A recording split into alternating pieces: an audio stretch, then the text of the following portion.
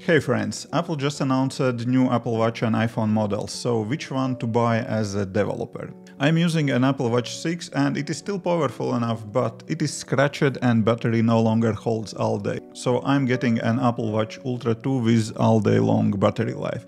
And by all day long I mean day and night, to track my sleep during the night and exercises during the day. Currently, I must charge my scratched Apple Watch 6 twice a day to keep it running in this schedule. I think Apple Watch is fine to upgrade once in a 3 plus years and if I didn't want to get Apple Watch Ultra for fitness and development reasons I would skip a few more generations.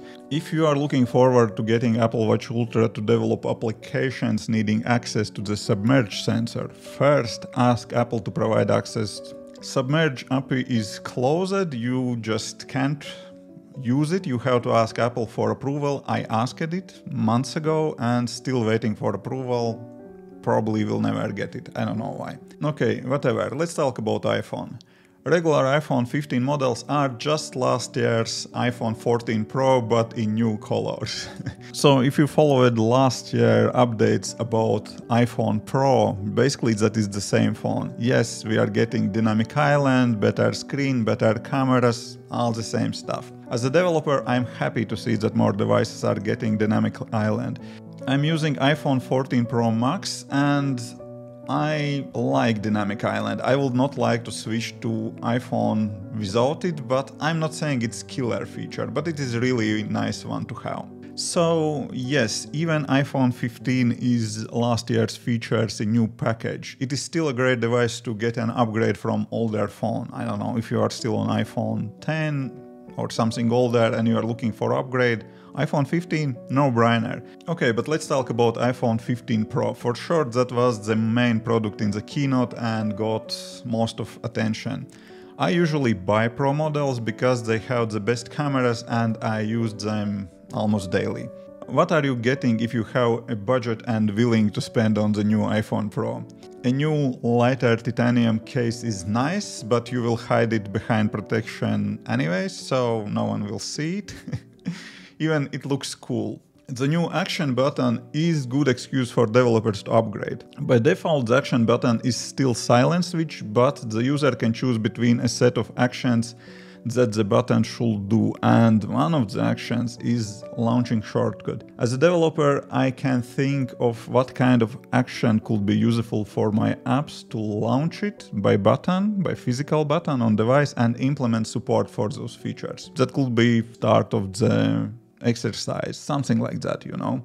CPU and GPU upgrades are significant. Apple spent plenty of time on Keynote talking about that, but I'm developing relatively simple apps and those apps should run on the oldest and cheapest supported devices anyways. The camera is main reason for most iPhone upgrades, but if you do not develop an app that uses it heavily, like a photo app, you don't need the latest and greatest iPhone. So should you get it as a programmer, Certainly not. You can get all the work done by staying a few generations behind and Dynamic Island and Action Button can be tested on simulators. If you are short on budget, you better save the money for Apple Vision Pro device. It is way harder to develop virtual reality apps without having a device to play around and test other apps to see how you would like to build your application. For content creators, this camera upgrade is significant. iPhone 15 Pro is getting better low light performance, but more importantly new focal length.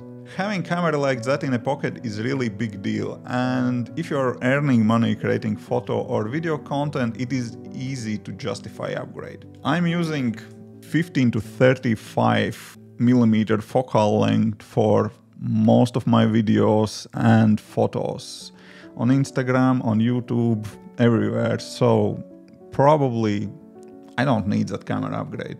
I would like to have it, but I don't know, not for that money. Spatial video recording could be useful in the future, but we will see that in the next year because Apple Vision Pro is not around yet and I don't know, we will need to wait for that for maybe one more year to see that here in Europe. And yeah, finally seems that Apple moving all devices, including iPhone and AirPods Pro, to the USB-C, and that enables better data transfer speeds and external memory usage for video recording, and you need one cable less in your backpack when you're traveling. I don't know, it is not a real reason to upgrade, but it is very nice feature to have. I'm getting my wife an iPhone 15 Pro Max because she needs an upgrade, but I may skip this year because I'm using my mirrorless camera for most of the content, so I don't really need that new and upgraded camera that I have in but we will have an iPhone 15 Pro Max and for developer there is no so many features to implement. Also, those iPhones are surprisingly expensive, especially if you want the iPhone Pro Max with beefy memory and all the new camera features. I could easily buy used motorcycle for that money if I would skip upgrades this year.